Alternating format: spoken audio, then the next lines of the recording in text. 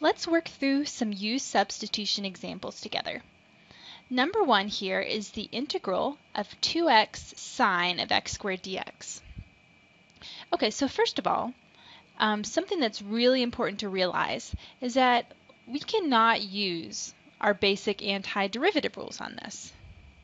Okay, so why not?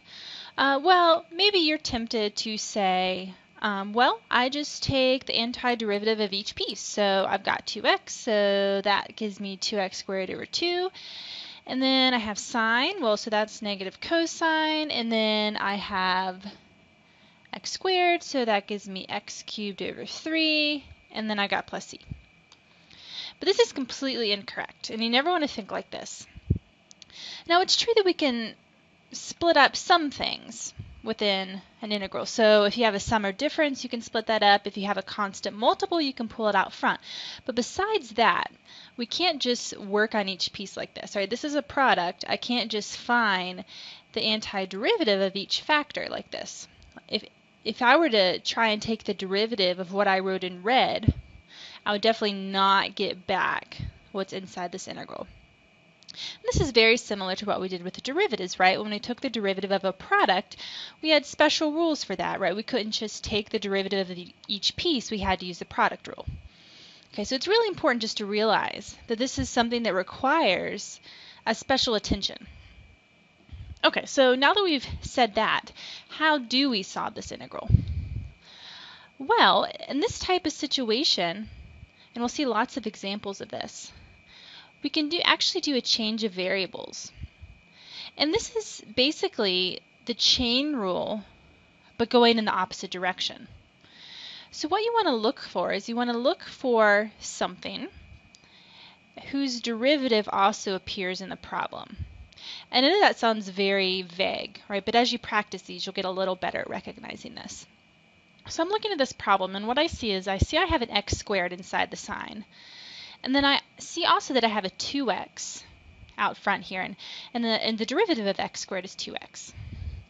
So then how this is going to work is I'm going to make a substitution, and usually the variable we use is u, and I'm going to let u equal x squared.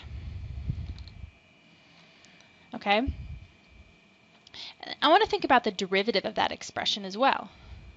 And the notation we use for that is we write du, and then we take the derivative. So du equals 2x dx. And one easy way you can maybe remember that is du dx equals 2x, and they're just moving that dx over. Okay, so that's maybe an easy way to remember that notation.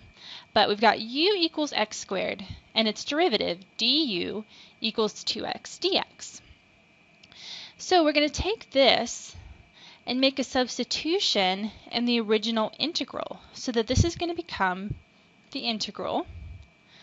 Okay, well, let's see. This part, 2x dx, that's the du.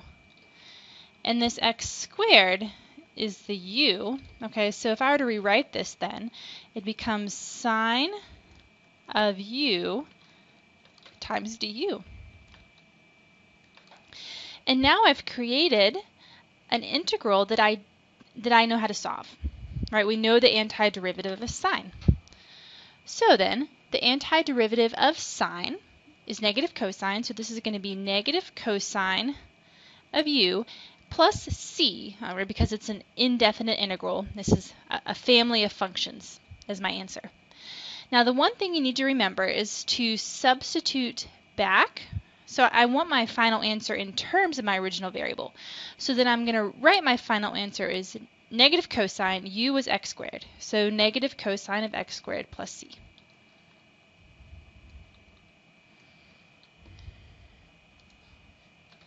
Example number two is the antiderivative of secant squared x times the square root of tangent of x dx.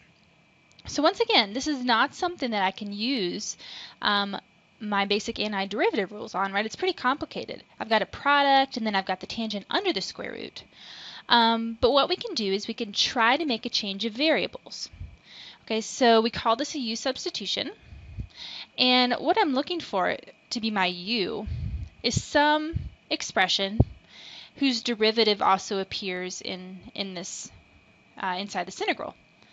So in my case, notice I have tangent under the square root, and then I have secant squared out front here, so that might work. So let's try letting u be tangent of x. Okay, so then du, which is the derivative, well, the derivative of tangent is secant squared, so secant squared dx. And that works out perfectly, right? It takes care of all my little pieces here. So then if I rewrite this integral using the substitution, okay, so here's my u. So then I'm going to have the square root of u. And then du is secant squared dx. Okay, so that takes care of secant squared dx. So square root of u du. Or I could write that as u to the 1 half power du. And this is something I know how to take the antiderivative of, right? So add a power becomes u to the 3 halves over 3 halves plus c. Okay, so that's 2 thirds u to the 3 halves plus c. And I need to remember, I always need to remember to substitute so that I have my um, original variable again. So u is tangent of x. So 2 thirds tan x to the 3 halves power plus c would be my final answer. In example 3, I have the integral of 3x squared plus 2 all over x cubed plus 2x. Um, so this is a quotient, and there's no special formula to take the antiderivative of a quotient. Um, instead, we'll just have to try to make some sort of substitution.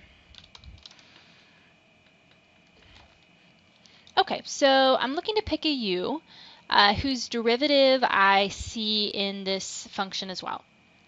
Um, so then, if you look at the numerator and denominator, the denominator x is x cubed plus 2x, and its derivative is the numerator, 3x squared plus 2. So then let's let u equal the denominator, x cubed plus 2x. And then if we take the derivative du, we get 3x squared plus 2 dx. So then I can make my substitution. So the bottom of the fraction becomes u. And then all of this stuff, the 3x squared plus 2 dx, is my du. So you can write that as the integral of du over u, or of 1 over u times du, whatever way you prefer.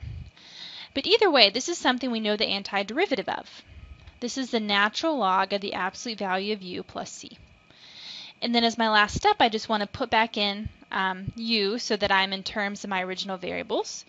So this is a natural log of the absolute value of x cubed plus 2x plus c. That's my final answer. Example 4 is the antiderivative, or the indefinite integral, of e to the x over 1 plus e to the 2x. Okay, so once again, this is not something I can use my basic rules on, right? I have a quotient here. Um, so I'm going to try to make a substitution and see if that works. Well, for my u substitution, I need something, some piece of this, whose derivative also appears um, in, in the expression. And this one's maybe a little harder to see. So let's just try something. Let's say you thought, okay, well maybe u is 1 plus e to the 2x.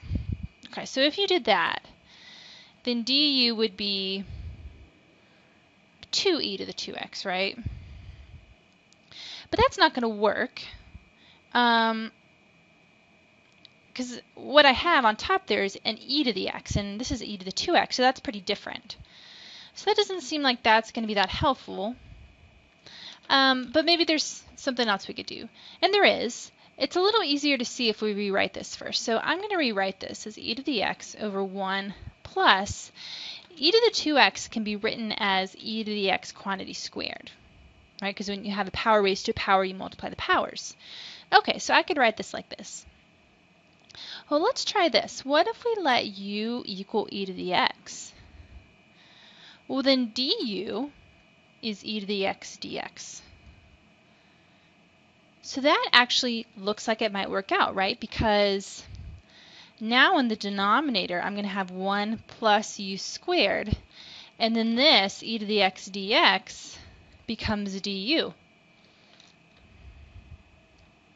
So I have 1 over 1 plus u squared du. And this is a form we know. It's maybe a little hard to remember, but this is actually uh, the form for the arctangent or inverse tangent. Okay, so the antiderivative of this, of 1 over 1 plus u squared, is actually the inverse tangent of u. Or you can write the arctangent, and then we need a plus c. And then I just want to put back my original expression, u is e to the x. So then the answer to this is the inverse tan, or the arctan of e to the x plus c.